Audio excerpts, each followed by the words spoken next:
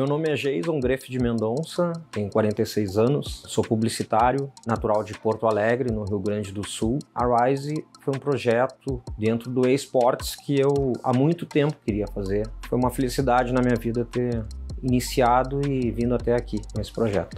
Eu fundei a Rise juntamente com Nunes e o Mufasa. Nós fundamos a Rise em janeiro de 2021.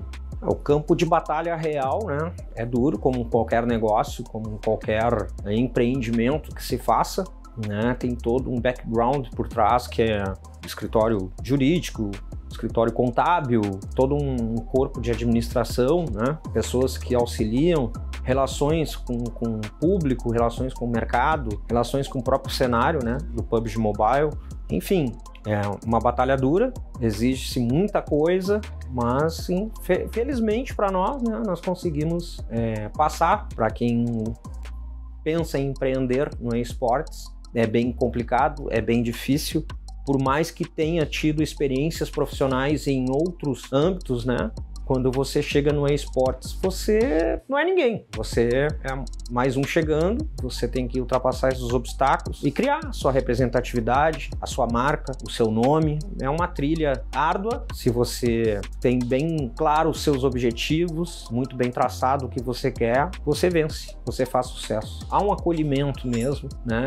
Os, os meninos ficam longe das residências deles, das familiares deles e a gente tenta proporcionar isso aqui também. Um ambiente familiar, um ambiente que eles possam se sentir realmente acolhidos, né? Com tudo aquilo que é necessário para que a pessoa se sinta bem, se sinta feliz, esteja feliz de estar aqui, realmente poder é, entregar aquilo que, que eles mais querem, entregar para eles mesmos, né, ter essa entrega, correr atrás dos sonhos deles. Então a gente tenta aqui na, na, na Rise é, dar todo esse suporte para eles, né, e esse acolhimento também para que eles consigam buscar, buscar o sonho deles. A gente mantém contato com os familiares e é isso. A gente tenta proporcionar o melhor ambiente possível para que eles possam exercer a função deles e, repito, é, estarem felizes. Existe sim na Rise Sports hoje uma união muito forte né, entre os, os, jogadores, entre os atletas. O Mufasa, o Garrix, é, o Nunes e o Mitch, né, existe uma união, uma energia muito legal que eles construíram e isso influencia também no entrosamento, né? Esse, esse entrosamento fora do jogo, ele influencia também dentro do jogo, né? Desde a viagem deles até aqui, quando eles não estão na Game House, é, a gente conversa por Discord, a gente tem no nosso cotidiano também, quando eles não estão presentes aqui na Game House, né? Tem esse entrosamento também virtualmente. Antes de cada jogo, a gente se reúne no Discord para conversar. Pós-jogo também, muitas vezes a gente fica até altas horas da madrugada conversando no Discord. Então eu acho que, eu não vou dizer que é um diferencial, mas é algo maravilhoso e muito lindo que a gente vive aqui em termos de, de entrosamento. Falando do Mufasa, foi a pessoa que veio e nós iniciamos juntos né, esse projeto.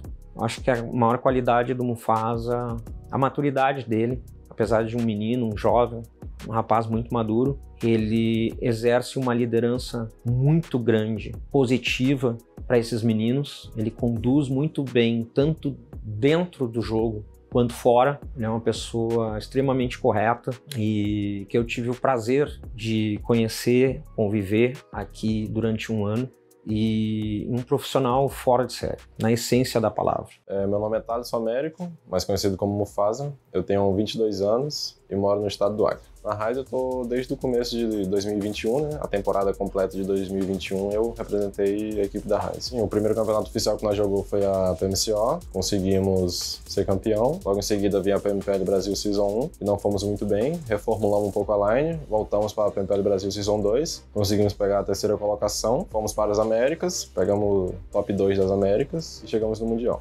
Outro atleta que chegou junto com o Mufasa, logo depois da vida do Mufasa, foi o Nunes. O Nunes é um, um atleta extremamente inteligente, com uma experiência muito grande também dentro do jogo, que também sacrificou muito muito mesmo em prol da equipe dele. Mas o Nunes também ele exerce uma liderança positiva muito grande né, dentro da equipe. O Mitch, que é um menino de ouro, um, é o nosso fofão, é o nosso comedor de hambúrguer. É o maior comedor de hambúrguer do planeta. É uma, uma grande qualidade que ele tem.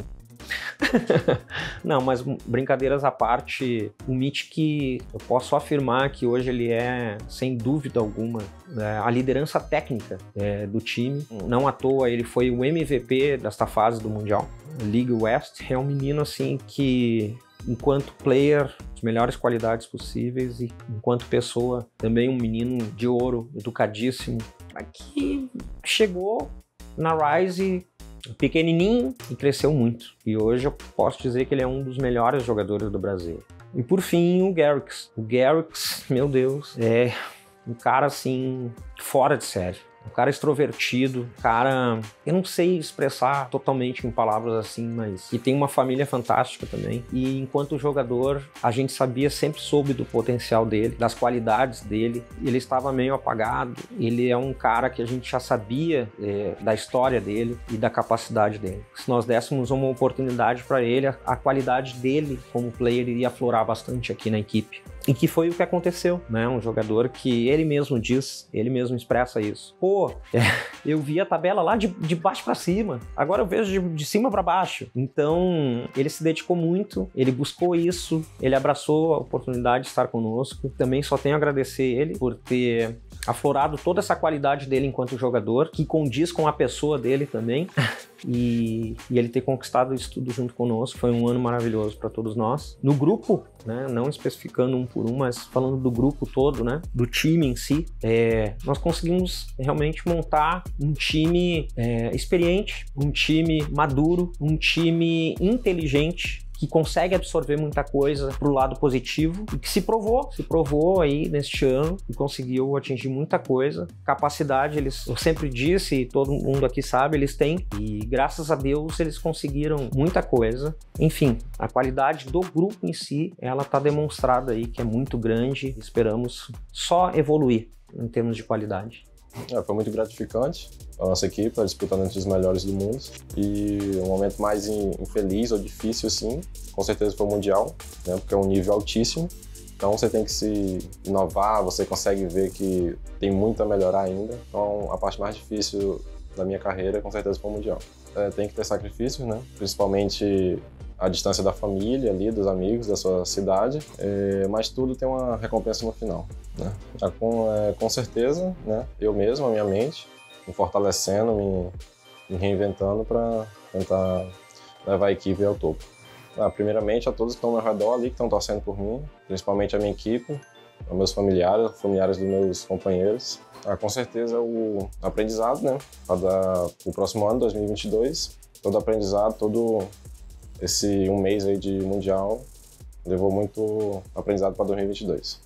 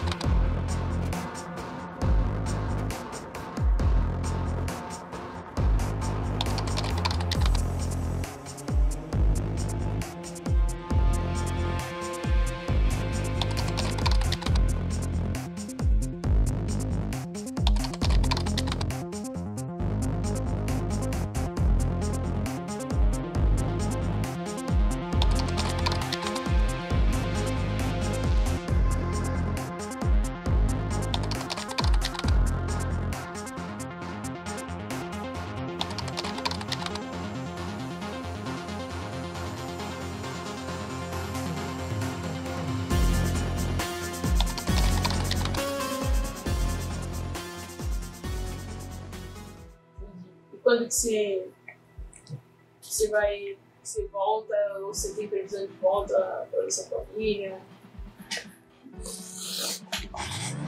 To the tail.